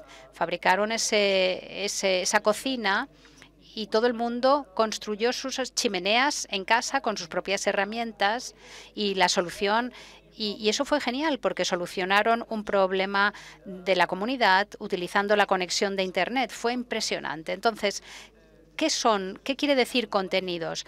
Eh, la información no es igual a conocimiento, pero cuando alguien le puede ayudar a utilizar esos conocimientos, esa información para convertirla en conocimientos, el resultado es fantástico. Por eso le quería contar esta historia. Sí, es fantástico. Gracias. Veo dos preguntas ahí. ¿Sí? ¿Puede decir su nombre? Gracias. Me llamo Marcel Tosh soy investigador en el Consejo Asesor Alemán de Cambio Climático y acabamos de eh, publicar un informe de, 500 páginas sobre el futuro digital, sobre hablamos de las cuestiones de sostenibilidad en la, era digital. Quería eh, presentar una cuestión al panel. En, en, los objetivos de 2030 se dice transformar al mundo y lo que vemos con el cambio digital es una disrupción masiva económica debido al cambio digital y muchas áreas no son sostenibles en absoluto de momento. Cambio digital y su poder eh, transformativo no fue anticipado en la Agenda de 2030 y es, una gran, y es un gran reto y es una oportunidad también unir a las comunidades y pueden haber soluciones positivas. Pero para ello necesitamos dar un propósito a ese cambio digital. Eso es muy importante muchas herramientas no son, son herramientas, no son un medio en sí mismo. Y tenemos que, la, tenemos que lograr que la tecnología digital sea más, eh, sea más sostenible, por ejemplo, en cuanto a los metales que se emplean ahí. Tercer punto, y esto falta en el panel hasta ahora, pensando en las palancas digitales, en cuanto a la Agenda 2030, tenemos que pensar de manera sistémica en cuanto a los problemas. Eh, la tecnología digital apoya las energías renovables, pero también podría apoyar el desarrollo de nuevos campos de petróleo. La tecnología digital puede crear eh, inclusión, pero luego con el backshoring esto también podría cambiar el orden eh, mundial totalmente y crear más injusticia. Esas tecnologías digitales pueden mejorar nuestras prácticas democráticas, pero también pueden aportar el, em, eh, más dictaduras. Por ejemplo, piensen en el sistema de puntaje en China. Esa es mi cuestión ahora para el panel. ¿Cómo podemos redireccionar el cambio y las tecnologías digitales de manera que sea sostenible y también la ITU tiene algunas palancas a su, alcance con las políticas de datos. Esto es algo que tiene que abordarse también en el contexto de Naciones Unidas y también el entorno político en, las, en, el entorno no digital nos importa mucho. Muy bien, muchas gracias. Creo que ahí hay un caballero al final de la sala que quiere decir algo. Gracias. Me llamo Santiago, vengo de Colombia y soy el director de un laboratorio de innovación para la ciudad de Bogotá. Yo trabajaba para una agencia que empleaba y daba que, daba ordenadores, computadoras para todas las escuelas en Bogotá. Y ahora han transcurrido 10 años y no hemos mejorado ni siquiera en un punto en, el, en la medición de la calidad de la educación en, nuestro, en nuestra ciudad. Yo en esa época era político y yo prometí cuando daba cuando daba cada uno de esos ordenadores que los resultados iban a mejorar, que todo iba a ser diferente. Pero ahora tengo que admitir que no era cierto, que no se ha cumplido. A partir de entonces, yo empecé a intentar averiguar eh, qué ocurre con esa brecha digital. La brecha digital no depende de tener o no tener Internet, pero hemos descubierto que existen siete brechas digitales diferentes. La velocidad es determinante, la velocidad de la conexión. Pero hay una cuestión que me preocupó más que ninguna otra.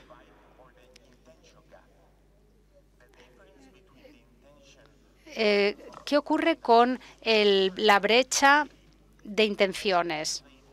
Las intenciones al utilizar eh, las intenciones al usar Internet por parte de una persona rica o de una persona en una zona rural. Son muy diferentes. Ambas pueden utilizar eh, Facebook, pero con intenciones muy diferentes. Algunos están vendiendo productos y otros simplemente están eh, están simplemente viendo cómo otras personas viven su vida y se sienten frustrados. Entonces hemos intentado medir estas intenciones y hemos creado una especie de eh, medición eh,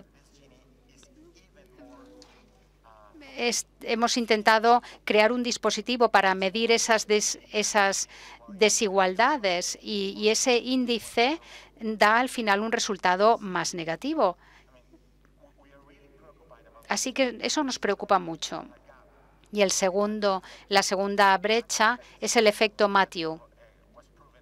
Es algo que fue demostrado por un profesor que decía, si uno sabe leer, entonces se puede aprender más rápidamente. Y si uno no sabe leer o, tiene, o no, no lee bien, entonces podrá mejorar su conocimiento, pero solo un poquito. Y lo mismo ocurre con Internet. Si dos personas diferentes están en el mismo punto de partida, pero con diferentes ventajas competitivas, Internet les va a eh, dar resultados diferentes. Si uno sabe, por ejemplo, un segundo idioma, por ejemplo, si en Colombia uno sabe hablar inglés, entonces la percepción de Internet será totalmente diferente respecto a otra persona que no sabe inglés. Entonces, el bilingüismo es un factor que diferencia también cómo se utiliza Internet. Si se tiene una cuenta bancaria o una tarjeta de crédito, es muy diferente. Entonces, si uno no tiene, entonces Internet es muy pequeño, porque entonces no se pueden acceder a contenidos de pago, por ejemplo, en la universidad. O si uno tiene una escuela primaria de mala calidad, entonces uno no tendrá la capacidad de formular una pregunta inteligentemente para obtener información. Así que ahí Internet también será muy diferente. Esto es el efecto Matthew. Mi pregunta es la siguiente.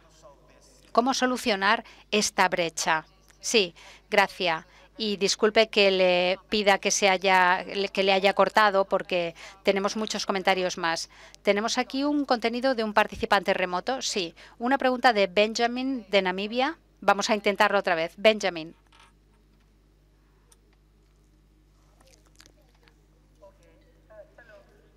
Hola. Sí, Benjamin de nuevo. Mi pregunta para el panel es la siguiente.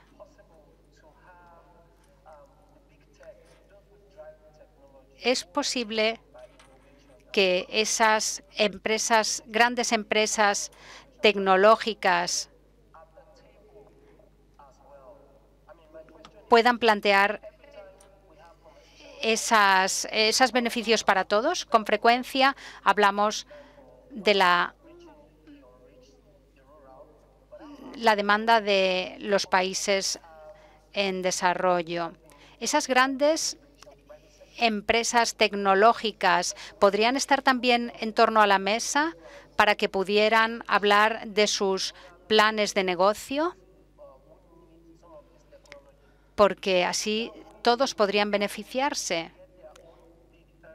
Y así, si ellos están ganando tanto, podrían dar algo a cambio a aquellos que no tienen acceso a esas innovaciones. ¿Dónde podríamos tener esa conversación de panel donde las grandes empresas tecnológicas estuvieran también en la mesa? Eh, a ser posible en las conversaciones del IGF. Muchas gracias, Benjamin. Fantástico, una pregunta muy buena. Pienso que nos quedan cinco minutos y para eso me gustaría invitar a los colegas en el panel de eh, reaccionar ante los comentarios que han escuchado. Quizás han escuchado algo. Alexander, voy a empezar con usted porque había una pregunta que solamente se dirigía a usted. Las grandes empresas tecnológicas, yo creo que bueno, Google está incluido en ello, podrían participar en este debate. Sí, eh, bueno, al preguntar a Benjamin, quizás él también nos podría hacer sus comentarios. Bueno, a usted. Sí, las grandes empresas que, de hecho, los las empresas de cualquier tamaño podrían participar en la IGF. Nosotros apoyamos mucho este formato este diálogo y eh, todas estas eh, charlas acerca de cómo se desarrolla el Internet. También queremos eh, contribuir a que todo esto funcione. Bueno, en cuanto a las posibles conclusiones que se pueden sacar o las lecciones aprendidas, pues he escuchado de parte de ustedes en el panel, pero también de parte del auditorio, pues tenemos que cooperar efectivamente no solamente hablar de estas cosas y también es muy importante que en las empresas tecnológicas eh, y en nuestro trabajo global pues em, vigilemos eh, cómo funcionan nuestros productos en los países del mundo, por ejemplo, la adaptación de las aplicaciones y todo esto, con tal de que las eh, comunidades locales también se puedan identificar con ellas. Bueno, sí, quizás eh, ya tenemos entre nosotros representantes de las grandes empresas tecnológicas, pero eh, señalar que en Nigeria nosotros tenemos un problema. Yo mismo trabajo en el área legal y ahí tenemos sobre todo el problema que eh, se tarda demasiado hasta eh, contar con la jurisprudencia. A veces hay casos eh, pendientes durante 30 o 40 años en los tribunales nigerianos y el tiempo es increíblemente largo hasta que haya una sentencia. Y hay también apoyo técnico para los juristas, por ejemplo, un software que podría ayudar a los jueces en la formulación de las sentencias. Pues yo le aseguro que esto podría resolver toda una serie de problemas que tiene nuestra justicia. Bueno, lo siento mucho que este programa no funciona muy bien aquí. Yo me acuerdo de que funcionaba porque yo estuve cuando eh, cuando lo presentaron y eh, me habían invitado a la presentación. Así que lamento mucho que no funcionase así. Yo pensé que es un muy buen programa. Bueno, pero nada, en cuanto a las preguntas que me hicieron, pues eh, antes que nada no es un problema de las comunicaciones, de las tecnologías de comunicación, sino político en cuanto a las minas, por ejemplo, para eh, tener acceso a los metales. En Jesse ya eh, lo hemos dicho hace 10 años eh, con lo que sucede en el Congo y tenemos la iniciativa responsable de las minas y 8.000 empresas participan en esta iniciativa, pero el problema es que las empresas efectivamente em, se hacen con el control porque hay una gran lucha por los metales. Eh, que se excavan ahí. Y luego hay otros problemas en el área tecnológico y estoy de acuerdo con usted. Es un tema que tenemos que resolver. Las tecnologías pueden ser utilizadas para fines buenos, pero también pueden acarrear eh, consecuencias negativas. Y por eso es bueno cuando nosotros, por ejemplo, en nuestro informe, em, pues en cuanto a los efectos negativos, eh, el consumo no sostenible y los desechos electrónicos. Tenemos, por ejemplo, demasiados teléfonos móviles y eh, ahí también tenemos un consumo excesivo. Así que tenemos que hacer más cosas que tienen sentido. Necesitamos, por lo tanto, la participación de la sociedad civil y los políticos para encontrar en común un camino para eh, volver, para su contrario, estos negativos consecuencias negativas, porque de hecho solamente necesitamos la voluntad.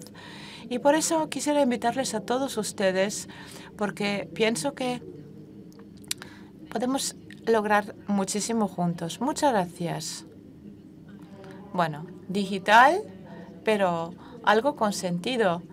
Eso me gusta. Sí, yo quiero terminar diciendo que las tecnologías digitales son una herramienta que para nosotros, para nuestros países, nuestros gobiernos y nuestros pueblos ofrecen la posibilidad de lograr los objetivos de desarrollo sostenibles. La transformación digital eh, ofrece a los gobiernos la posibilidad de realizar su implementación de modo más rápido y más eficiente y de esta manera servir mejor a los ciudadanos y aportarles aquellos servicios que tanto necesitan.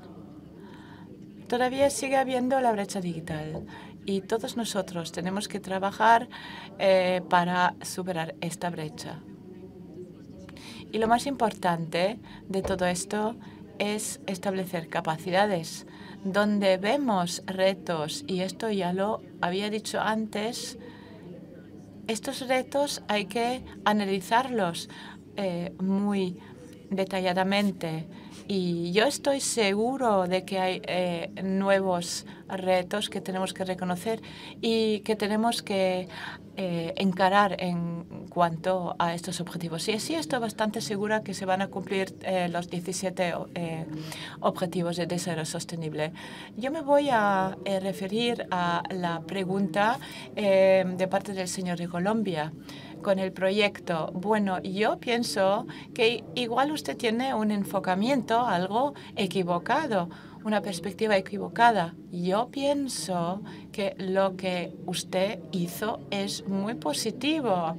Ahora, al ver la brecha digital y lo que usted eh, está haciendo no debe tener esta expectativa que después del proyecto solamente eh, salgan ingenieros eh, informáticos o de software. O sea, eh, muchos niños aprenden la, programación, pero esto no supone necesariamente que todos sean buenos en matemáticas o geográficas, pero se puede tener una perspectiva que hoy en día todavía no se ve. Y a la hora de valorar este programa con los mismos estándares como otros programas, entonces yo creo que esta es la vía equivocada. Yo más bien perseguía un enfoque positivo, esperando que las cosas vayan para mejor y que mediante la conexión con Internet en el futuro vayan a seguir efectos positivos. Bueno, desde luego yo también quiero que seamos puntuales para terminar esta sesión. Pues antes que nada, muchísimas gracias por invitarme y eh, haberme ofrecido la oportunidad de, de compartir con ustedes eh, mis ideas. Yo he apuntado unas ideas que me parecen esenciales para el día de hoy. Hemos eh, tenido en el teléfono a Benjamin y también dos grandes empresas técnicas aquí en el podio, IBM y Google. Y yo creo que ambas empresas son muy apasionadas en el trato de este tema, pero creo que también hay otras empresas grandes. Y precisamente porque le atribuimos tanta importancia, no solamente porque está relacionado con nuestro trabajo, sino para todos. Bueno, pues estas palabras clave que yo he visto son como, por ejemplo, contenidos, em, em, la colaboración en los idiomas locales, la inclusión de mujeres y de niñas, la inclusión en términos generales, em, los frutos asequibles, eh, conocimientos sensatos, el acceso, velocidad de Internet, implementación, protección y creo que la competencia en medios de comunicación. Todos estos son derechos humanos. Muchas gracias. Muchas gracias, Melissa. Ahora eh, me lo pone muy fácil a mí porque simplemente se me adelantó con sus palabras. Entonces, eh, quisiera agradecer a todos los panelistas. Ha sido un debate excelente. Hemos eh, tenido como dos horas. Esto suena a mucho, pero la verdad es que no, no ha sido suficiente porque hemos tocado tantos retos, temas y problemas que deberían profundizarse. Para mí personalmente, lo que yo he aprendido pues es el aspecto de la cooperación y también el punto de precisamente tenemos que dejar de hablar y poner manos a la obras porque ya no queda tanto tiempo para actuar porque todavía sigue habiendo 3.6 mil millones de personas que, ah, que esperan eh, tener acceso al Internet y como se ha dicho ayer y hoy en el panel, nunca vamos a tener suficientes profesores, médicos, enfermeras. Eh, Así que las aplicaciones del Internet es una oportunidad para el mundo de encarar así el mayor reto del desarrollo. Hay muchos riesgos que hemos escuchado también mucho hablar de ellos. Señor ministro, usted también eh, ha dicho que tenemos que ver cómo podemos lograr que el Internet sea utilizado para fines positivos. Yo creo que el Internet es una tecnología clave, no es un fin en sí, sino que es una herramienta y yo creo que a nosotros nos incumbe la, em, la responsabilidad moral de, de actuación precisamente eh, para poder lograr eh, los objetivos del desarrollo sostenible. Eh, señoras y señores, quisiera agradecer a la MAC por habernos invitado. Este es un gran honor y un placer para mí. Gracias, Miguel y Timer y es fantástico poder estar aquí. También les agradezco muy cordialmente a los que han eh, hecho la captación de texto y a todos que han seguido el debate de fuera de Berlín. Además, también agradecer a los que han participado en ese debate, que ha sido también un placer de moderar este debate y eh, me alegro mucho de poder continuar con ustedes el trabajo, que todavía hay mucho trecho por recorrer. Muchas gracias. Muchas gracias también a usted, Doreen. Muchas gracias.